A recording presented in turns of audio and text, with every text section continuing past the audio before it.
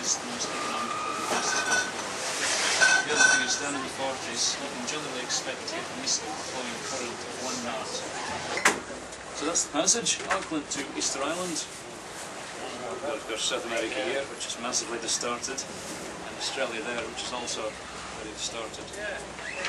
This chart very useful for uh, laying off great circle tracks. And then a circle, something like, or an arc, something like this. Then the weather forecast, of course, uh, we'll be we'll be getting weather maps all the way across. Our weather fax machine will pick up the transmissions from from here in New Zealand all the way. So we'll get two or three of these maps every day. We'll be able to see what the pressure systems are doing, and that'll help us to make plans. And I'll show you the maps every day. And again, if you're not familiar with pressure systems or pressure charts, uh, we'll be uh, looking at those as well. I can do a little bit of uh, meteorology sessions with you as well. So. Uh,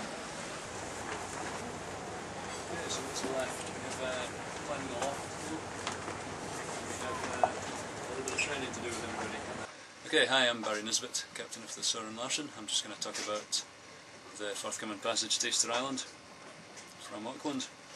What I've got in front of me here is a gnomonic chart. This is a special projection that allows a great circle route to be depicted in a straight line on this chart.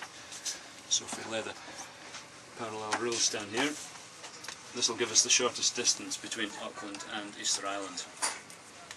As you can see the uh, initial course is taking us southeast and the final course is taking us northeast.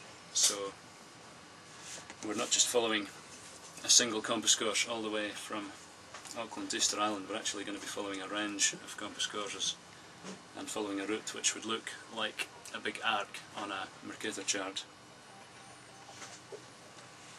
We'll be setting out, we'll be uh, rounding the East Cape and we'll be sailing down southeast until we get into the 40 to 50 degree latitude band, the roaring 40s, where we can hope to pick up the best westerly winds and the west and the east going currents that will take us across the Southern Ocean.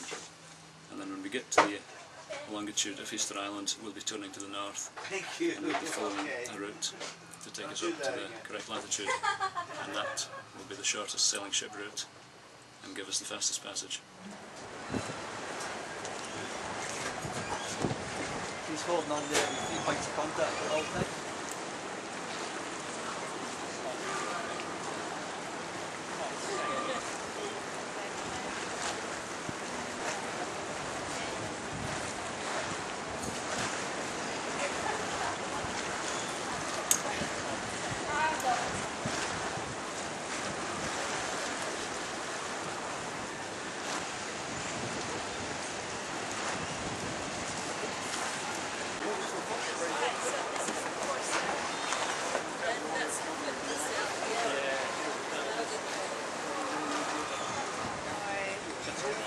Great job, everybody. Great job.